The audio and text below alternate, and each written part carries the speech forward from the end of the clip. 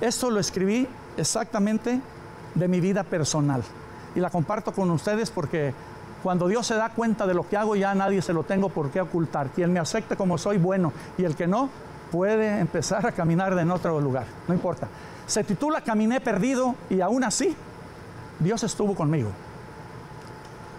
Caminando por la vida no me daba cuenta que iba perdido y que volaba entre las nubes de la vida como un pájaro malherido. Y entre más caminaba, pensaba que iba por el camino correcto. Ay, Dios mío, cuánto lo siento y cuánto por mí lo lamento. Qué pérdida de tiempo. Gracias a ti, mi amado Señor, a tiempo me di cuenta que hoy canto como el ruiseñor y mi camino hacia ti no tiene vuelta.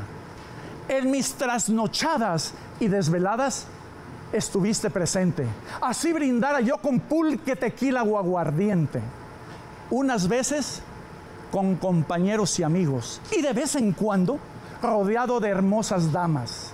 Sin duda alguna también tus ojos fueron fieles testigos, ya que tus lágrimas de dolor mojaron mesas, cobijas y sábanas.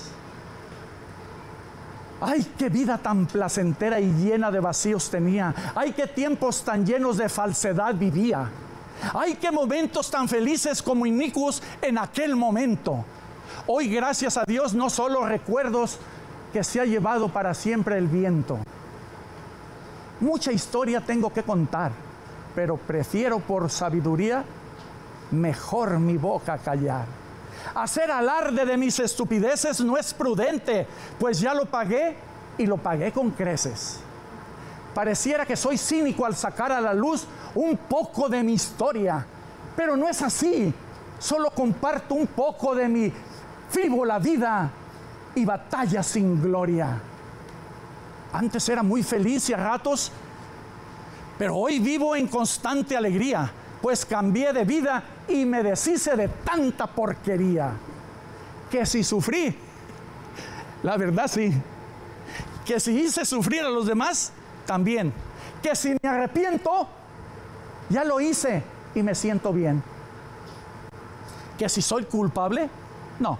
Inocente, tampoco. Loco, seguramente sí un poco. Y yo creo que también de mente e inocente, pues al confundir el placer con el amor, muchas y muchos podemos no solamente perder la mente, sino también perder lo decente. Si alguien después de relatar un poco de mi historia me sigue juzgando, a mí me vale.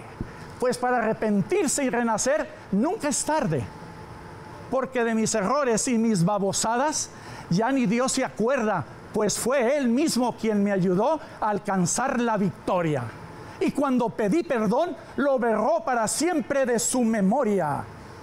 Es por eso que hoy me siento pleno y satisfecho, pues mi trabajo me costó y a ser feliz como hoy lo soy, tengo total derecho.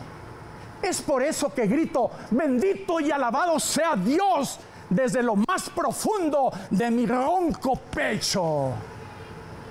Quien no se arrepiente no tiene derecho a ser feliz. Y quien es feliz es que tuvo el don de pedir perdón.